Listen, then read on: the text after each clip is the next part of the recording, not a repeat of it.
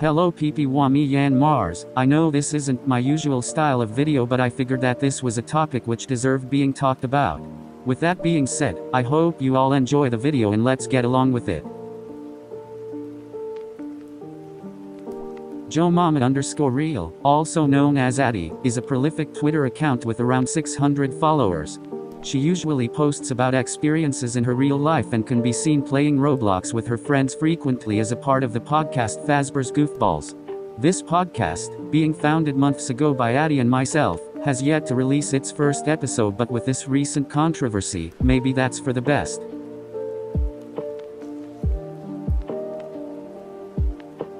This all started when Addy and Jobie and I were playing Roblox.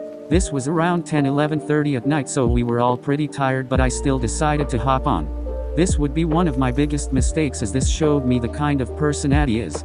We began playing a Roblox game which I will keep anonymous. During this game, Addy seemed off. She wasn't talking to anyone and seemed agitated after getting stuck on a bench. Jobie and I continued playing normally until I had to log off and hit the hay. Later, I had difficulty sleeping so I logged onto Twitter and saw a shocking reply.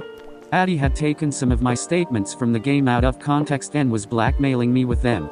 She wanted $100 or she would ban my Roblox account. I'll leave the photo on the screen while I discuss this. Blackmail is wrong. No matter what the other person does, you have no right to hold it above someone's head for monetary value.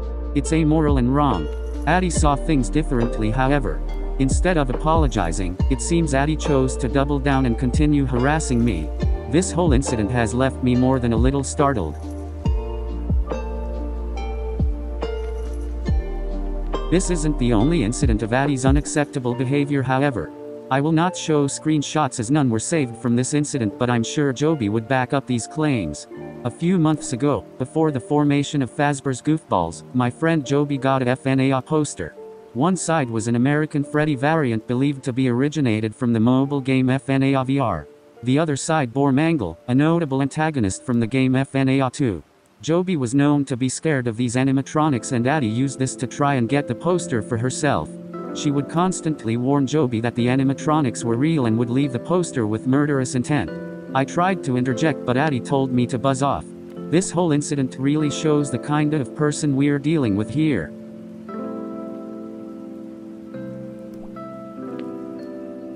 There have been theories floating around that Addy has been hacked but I would like to take the time here to discredit them.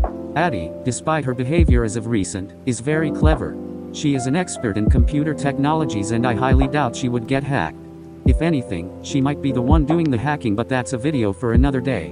Her tweets are consistent with her old style of tweeting. I DM'd Addy privately to try and get some confirmation on these claims and she has said that she hasn't been hacked.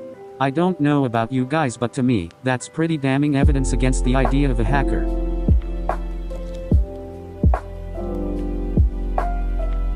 Addy has taken multiple Twitter pictures of geese. A goose is a bird of any of several waterfowl species in the family Anatidae. This group comprises the genera Anser, the gray geese and white geese, and Branta, the black geese. Some other birds, mostly related to the shelducks, have goose as part of their names. More distantly related members of the family Anatidae are swans, most of which are larger than true geese, and ducks, which are smaller. Rumors have been circulating that Addy has been maliciously making comments about these geese and manipulating them using bread. I have reached out to the geese for an interview but I have yet to receive an answer as of writing this. I guess we'll have to leave this point inconclusive. I'll leave you with this. After what you've heard so far, do you think Addy will manipulate these geese? Conclusion, I hope that Addy can learn from these mistakes and come back as a bigger and better Twitter account for it.